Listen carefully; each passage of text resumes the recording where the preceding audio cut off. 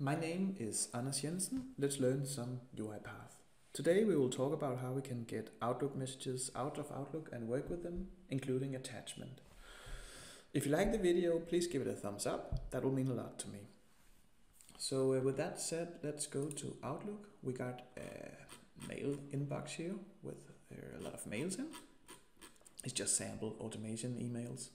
And um, we want to uh, get those emails out and work with them. So uh, go to UiPath, then we will uh, choose a get Outlook mail messages here, drag it in, go down and mark it, and then we will talk about the settings. So first the account. If you don't specify an account, that'll just be the default account. However, uh, you could have more accounts and then you want to specify which one of them. I only got one here, but let's just specify it. So if we got more, we uh, specified that this is the account that we want to use. Then the mail folder. And that is uh, the name of the folder that we want to get the mails from. And this one is Indbakke, so we want to change it to Indbakke from Inbox, but you can uh, do whatever you want. Uh, set the name to just the, the mail folder that you want. Then we can choose a filter, like say we want to filter some mails out, however we won't touch this. We can choose that the mail is set to be read whenever we work with them. We won't touch that either. Um, and then we can choose to only get unread messages, that's okay. So uh, we will get all ma mail messages, unread and read. And then we can set a count on how many mails that we want to get. So here we got 30, we could set it to 10 or 100, however 30 is appropriate. Then we want the output to um, store the, all the, this, these mails in a variable in a list. So control K and then we can say mail list like this and we can go down to variables and see the variable down here. That's fine. Um, then we will use a for each to iterate through all the mails here, drag it in under here. And um, so we will choose a, a, for each and then for each item in the mail list. And uh, while you're still at this for each, then we will change the type argument up here, uh, browse for types, and then we will search for a mail message. Let me drag it down. It's uh, sometimes a bit slow. Mail message, and then on the syst system 4.0 something, system.net.mail, choose this one. There's several, but uh, yeah, make sure you choose the right one. Then we click OK. Now we specify this. Then we will just delete this body and say that we want uh, from each of the mail, we want uh, the date maybe first. So then we will just uh, use a write line like this, drag it in, and then we will use the headers command. So item, headers, and then we can uh, choose that we want uh, date to come out. It's good to be familiar with these uh, .NET commands, so I can recommend that you learn them.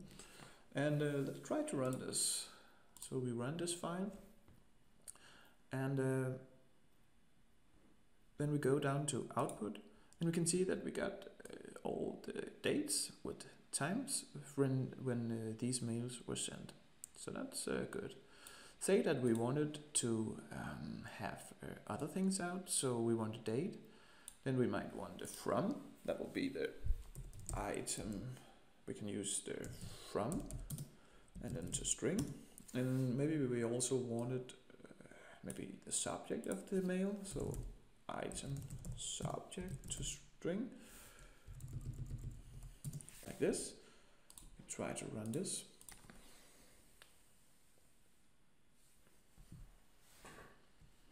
Go down to output and we can see that uh, here we got uh, the date, we got uh, from, and then we got uh, the subject. That's nice. However, we um, might want to get these data out of uh, this write line. We can't use it too much. So let's see how that is done. Let's say that we want to um, move it to Excel, like the data. So um, we got a uh, folder here just created. We have an Excel sheet called mails. I'll open that so you can see it. It's just an empty document. So um, like this. That's it. And um, say we want to uh, save all these data, like we want uh, the date, the from, and the subject saved in this Excel sheet. Maybe include, maybe we want to include a um, some sort of an idea. So we can uh, differentiate all the mails with an unique identifier. We could use the date, however, if two mails it's, it's, it's sent uh, on the same date, we will have a problem. So let's create an idea while we uh, do it. So first we need to build a data table.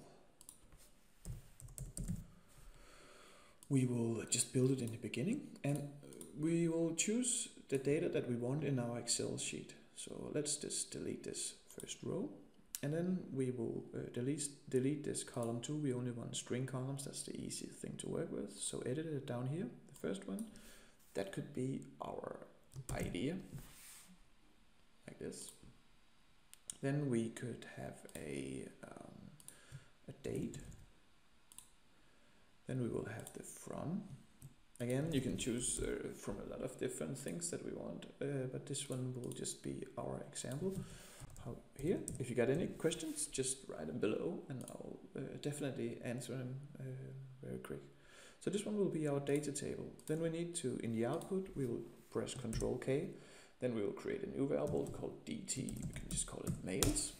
And again, we uh, created it down here. Then we will, um, let me close this one down, sorry. Then we will um, now we created a data table, then we could write for each uh, mail, we could write something in that uh, to that data table.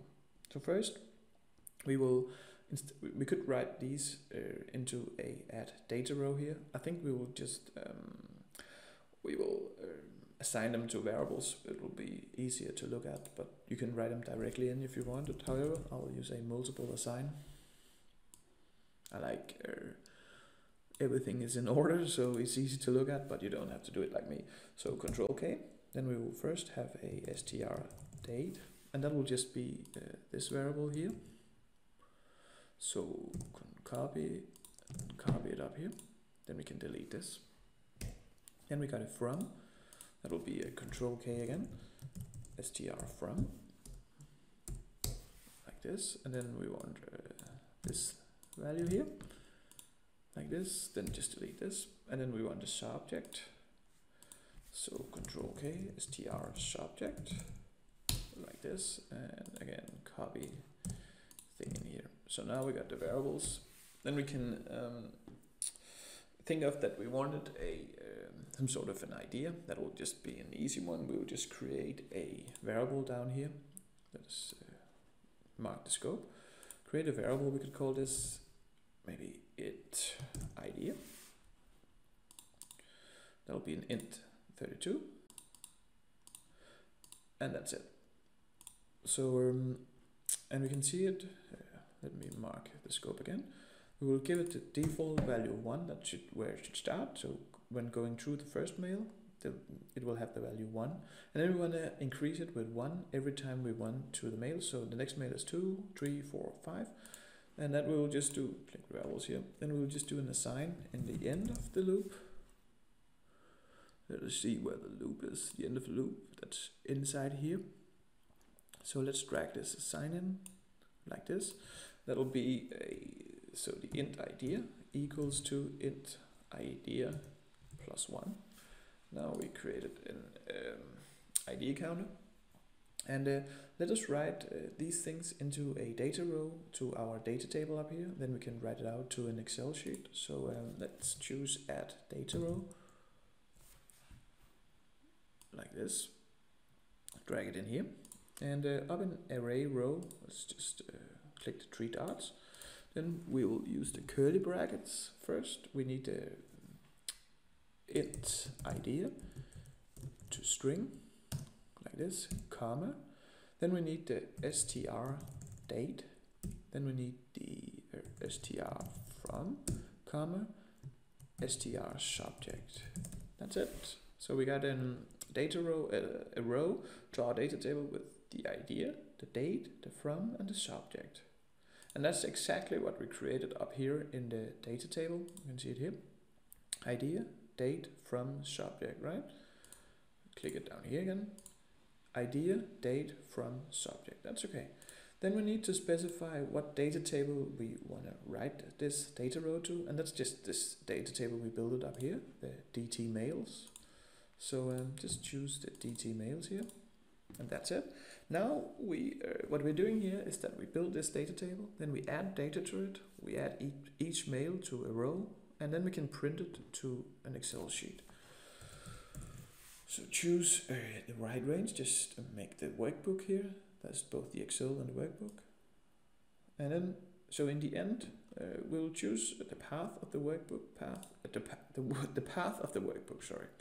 So go to um, where you uh, got your Excel sheet. And I got one here, mails. That'll be the one that we write to. And then we will sheet one, that's okay. We will just delete this. And then we will choose the data table, that will be the DT mails. And now we can write uh, everything to this Excel sheet. Let's see how that works. It runs now and uh, now it's stopped. Let's check the Excel sheet to see what we got. See it opens up. It's always exciting to see all this new data.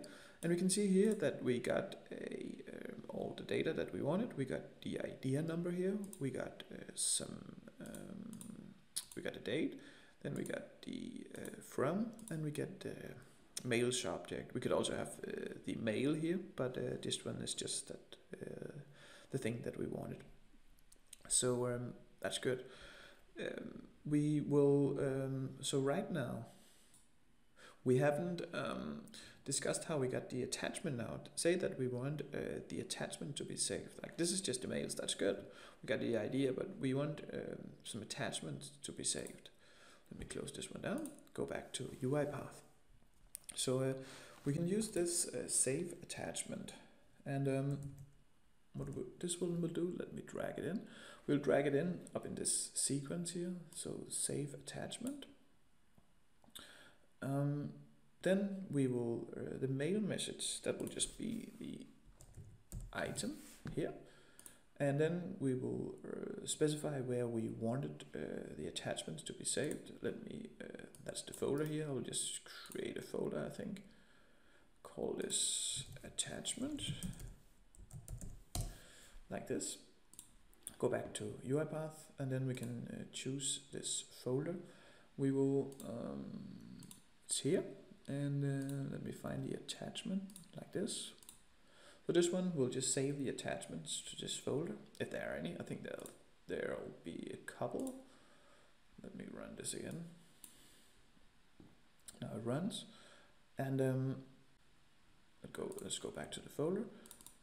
And we can see that we got a meetup here, a iCalendar file, and an Excel sheet. So there, there was two, there were two attachment here. I think this one is the one that's the iCalendar, the meetup and then I created actually an Excel sheet up here as well.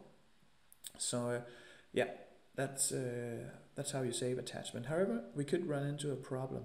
Say that uh, two attachment has the same name. That wouldn't be nice because then uh, the newer one will override the existing one, and uh, that will be a bit of a bummer. So uh, how can we solve this? Well, we need to first um, we can create a folder. So a unique folder. So let's create a folder first. Then we'll create it like from here. And so we can choose a path. That will just be this path. However, we will just copy this one in up here. However, we will um, add something to it. We will add uh, this ID number to it so we can refer to it. So uh, let me open it up over here. So we will add a slash here, then we will click plus, and then we will have the int ID to string. Well, let's see what this is doing. And then what we'll do is that we'll copy this again and we will choose that the save attachment will save it in the exact folder that we just created. Let me delete this and then paste it in here like this. So now see what happens. Uh, we might run into another problem, but I think it's not a problem that we cannot solve. So um, let's go back to the folder. You see, now we created a, a lot of folders into this attachment folder, but uh, those ones are empty. It's only the one, I think, was it, 17? Uh, so, so it creates a folder whether we got an attachment or not. That's not quite clever. So let me delete all these folders and see how we can solve this. Delete this. And um, so what we'll do is that we will make an assign. We will um, drag this assign in.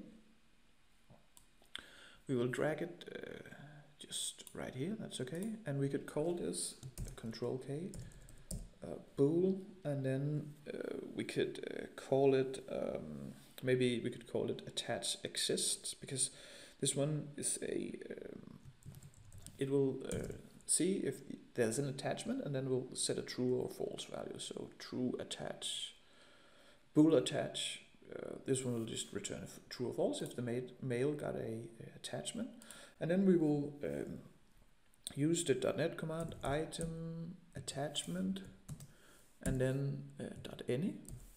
So this one will return a for, true or false. So we'll go down to variables and the bool attach, uh, change this to a boolean like this. And then we can make an if. So if this is true, then we'll create a folder, right? So if, drag it in here, and then uh, move the create folder up in and the save attachment up like this and then the condition should be the bool attach just so this just mean if this is true then we'll go here otherwise we'll go here. And uh, this one should work. Let's try it out.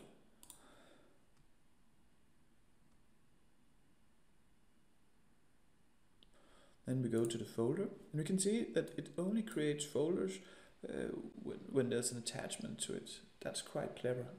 And if we open up uh, the mail that we, uh, the Excel sheet that we got, then we can uh, see that we can we get an idea. So we we know that uh, these attachments got a one and a seventeen, and then we can just uh, uh, we can see that this one is the one with one and this one is the one with seventeen. So we can refer to that when we work with the mails. That's quite clever, isn't it? We can use it a lot and if you get any questions, just type it in below. I will be glad to answer it. If you liked the video, if you enjoyed it, please subscribe to the channel or like the video. That will help me a lot. And uh, have a good day. Bye bye.